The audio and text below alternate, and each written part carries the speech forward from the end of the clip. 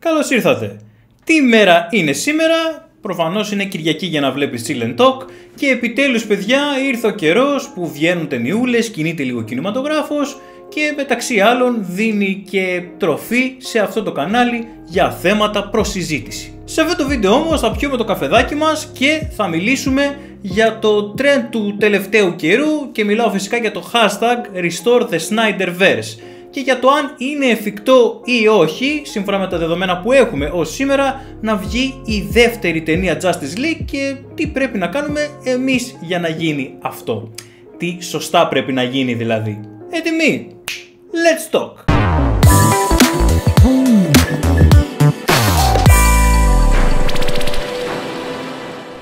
Λοιπόν, τα Chile Talk είναι λίγο πιο προσωπικά σαν βίντεο, πιο ζεστά, τουλάχιστον έτσι τα νιώθω εγώ.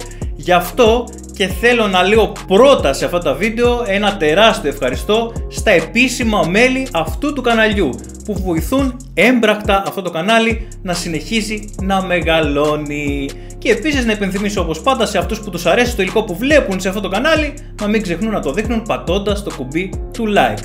Πάμε να τα πούμε. Πλέον έχουμε καινούρια σχολεία. Οι Ιντερνετάκιδες αντικατέστησαν το hashtag που υπήρχε Release the Snyder's Cut με το Restore the Snyderverse. Και όσοι δεν ξέρετε για το παλιό hashtag, πηγαίνετε στο αντίστοιχο βιντεάκι που είχα βγάλει τότε για να τα μάθετε. Βγήκε λοιπόν το περιβόητο Justice League του Zack Snyder, ο πολύ αγαπητός σκηνοθέτης έκανε σωστά τη δουλειά του και με αυτή τη δουλειά μάζεψε και πίσω όλο το κόσμο στο franchise που λέγεται DCU. Ένα franchise όμως που μοιάζει πιο πολύ με ένα σούπερ μάρκετ που μόλις κλείνει και φωνάζουν από τα ηχεία Το κατάστημά μας θα κλείσει σε μισή ώρα, παρακαλούμε όλους τους πελάτες να προσέλθουν στο ταμείο. Έτσι λοιπόν φτάσαμε στο σημείο το νέο trend της εποχής να είναι το hashtag Restore the Snyderverse με τους fans του franchise και συγκεκριμένα του Zack Snyder να απαιτούν και να έχουν κατακλείσει το ίντερνετ με αυτό το hashtag για να πείσουν τη Warner να αφήσει τον γνωστό σκηνοθέτη να κάνει το όραμά του πραγματικότητα και να κάνει τη δουλειά του όπως μόνο αυτός ξέρει. Όμως το κάνει σωστά. Παιδιά για να καταλάβετε σε τι κατάσταση βρίσκεται αυτή τη στιγμή η Warner πηγαίνουν οι fans ανά τον κόσμο και σαμποτάρουν τα νέα releases, τις νέες ταινίες που βγάζει η συγκεκριμένη εταιρεία έτσι ώστε να την πείσουν να βγάλει τη δεύτερη ταινία Justice League. Αυτό για μένα δεν θα το αναλύσω βέβαια σε αυτό το βίντεο, αλλά μου ακούγεται ότι πιο ηλίθιο έχω ακούσει ποτέ στη ζωή μου. Πραγματικά μου φαίνεται ρε παιδιά τόσο χαζό αυτό σαν κίνηση που δεν μπορώ καν να συλλάβω το τι σκέφτονται αυτοί οι άνθρωποι που το κάνουν αυτό. Να ξεκαθαρίσω κάτι από τώρα. Είμαι και εγώ από αυτούς που θέλουν να δουν τη συνέχεια του Justice League. Μου άρεσε η ταινία, μου άρεσε έτσι όπως σέταρε το σύμπαν του ο Zack Snyder και θέλω να δω τη συνέχεια του. Στην τελική, στη συνέχεια βρίσκεται και όλο το zoom.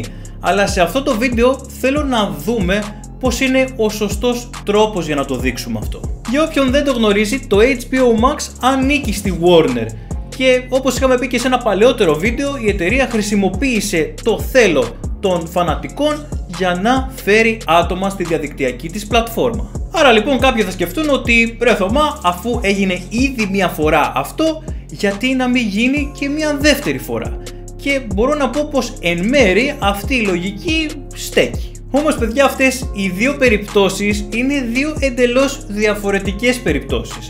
Και αυτό το λέω γιατί το cut του Zack Snyder στήχησε, πάντα για τα κινηματογραφικά δεδομένα μιλάω, πολύ λίγο στη Warner. Το μεγαλύτερο μέρος της ταινίας είχε ήδη πληρωθεί πίσω στο 2017 και μάλιστα είχε πληρώσει και πολύ καλά από το release στους κινηματογράφους εκείνη την εποχή. Πάνω λοιπόν σε όλα αυτά τα θετικά ήρθε να προσθεθεί και ότι ο Zack Snyder δεν ήθελε να πληρωθεί παραπάνω για τη δουλειά που έκανε σε αυτήν την ταινία.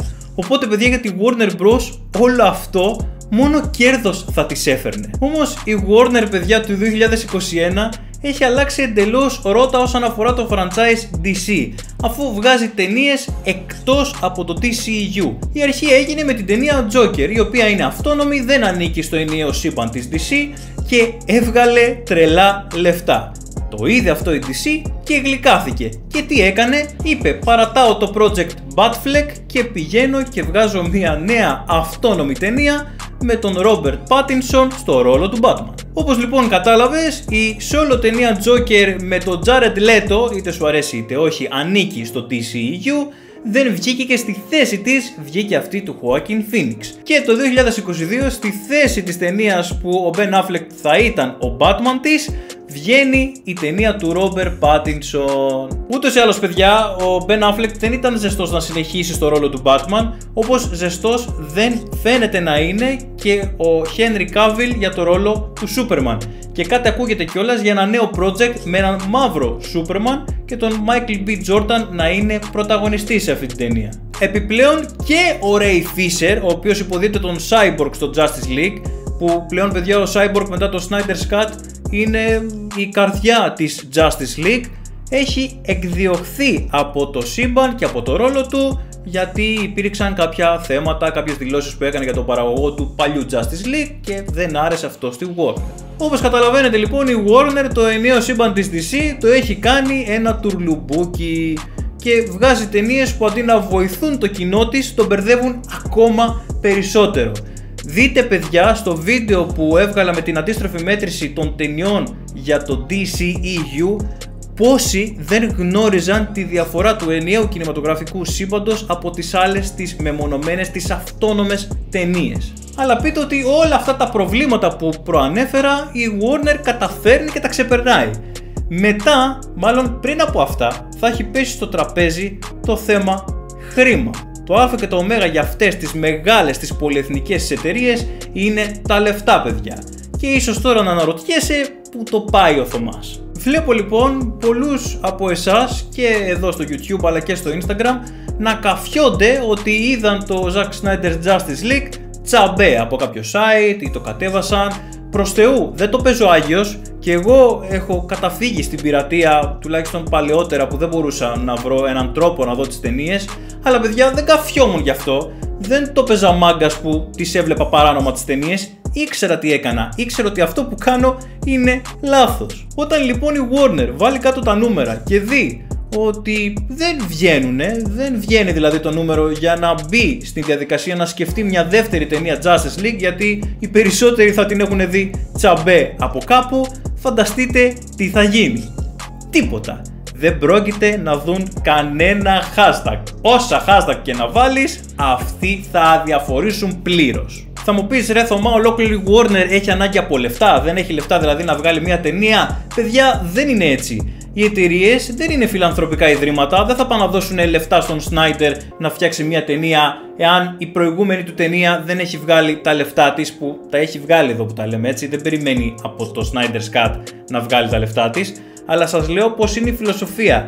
Εάν στους αριθμούς ένα project δεν βγαίνει, δεν πρόκειται να συνεχίσει. Θα μου πεις τώρα, ρε Θωμά, δεν είχα τη χρηματική δυνατότητα να τη δω κάπως αλλιώς. Θα μου πεις ότι δεν έχει έρθει το HBO Max στην Ελλάδα για να μπορέσω να πάω να πληρώσω για να το δω. Δεν έχω Κοσμοτέ TV ή έχω Κοσμοτέ TV αλλά δεν θέλω να δώσω αυτά τα επιπλέον 3,5 ευρώ ρε παιδί μου στην εταιρεία γιατί δεν γουστάρω να τις τα δώσω. Μαζί σου. Θέλω όμως να μιλήσετε ειλικρινά και να μου πείτε πόσοι από εσάς που είδατε τσάμπα την ταινία και γουστάρατε με τη φάση και θέλετε να συνεχίσει, όταν αυτή θα γίνει διαθέσιμη στη χώρα μας θα πάτε και θα πληρώσετε και ας την έχετε δει για να στηρίξετε την όλη κατάσταση.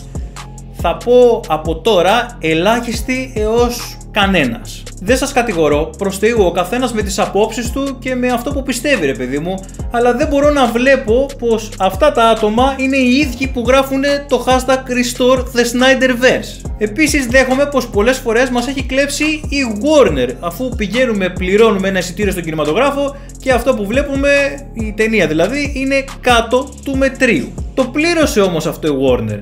Γι' αυτό και άλλαξε ρότα και τα έχει κάνει έτσι όπως τα έχει κάνει. Στο διατάφτα λοιπόν και στο μήνυμα που θέλω να περάσει το σημερινό βίντεο. Όλα παιδιά σε αυτή τη ζωή δυστυχώς ή ευτυχώς είναι θέμα νοοτροπίας, είναι θέμα παιδείας. Στήριξε αυτό που σου αρέσει και αυτό που αγαπάς. Είτε αυτό είναι μια ταινία, είτε είναι ένας youtuber παιδί μου καλή ώρα, είτε ο φούρνος της γειτονιάς σου που βγάζει το ψωμί που σου αρέσει πήγαινε και στήριξέ το. Η νοοτροπία και η φιλοσοφία πίσω από όλα αυτά που σας ανέφερα παιδιά, πιστέψτε με, είναι ακριβώς η ίδια. Εάν το ψωμί που σου αρέσει από το φούρνο δεν το πληρώνεις για να το πάρεις αλλά το παίρνεις από την πίσω πόρτα, τότε αργά ή γρήγορα ο φούρνος είτε θα κλείσει είτε θα βγάζει το ψωμί που αρέσει σε άλλους που πληρώνουν γι' αυτό. Και σίγουρα δεν θα φταίει ο φούρνος για αυτό που συνέβη. Θα μου πεις, Θωμά, είναι όλα θέμα χρημάτων; Όχι παιδιά, δεν είναι όλα θέμα χρημάτων, κάθε άλλο αλλά κάποια στιγμή είναι και θέμα χρημάτων. Αυτό λοιπόν που θέλει να πει το σημερινό βίντεο είναι λιγότερα hashtags και περισσότερη έμπρακτη στήριξη στα πράγματα που κάνουν τη ζωή σου λίγο ή πολύ καλύτερη. Εγώ ήμουν ο Θωμάς, εάν θες να βλέπεις περισσότερο υλικό από εμένα, να μαθαίνεις τα κινηματογραφικά νέα, αλλά και να είσαι πάντοτε συνδεδεμένος με την Tom Chill παρέα, μπορείς να με ακολουθήσεις στο Instagram. Σε ευχαριστώ πάρα πολύ που με άκουσες και που ήσουν μέχρι το τέλος αυτό το βίντεο. Εάν σου άρεσε, ξέρεις τι να κάνεις και για να μην χάσεις τα επόμενα, πάτησε το κουμπί της εγγραφής.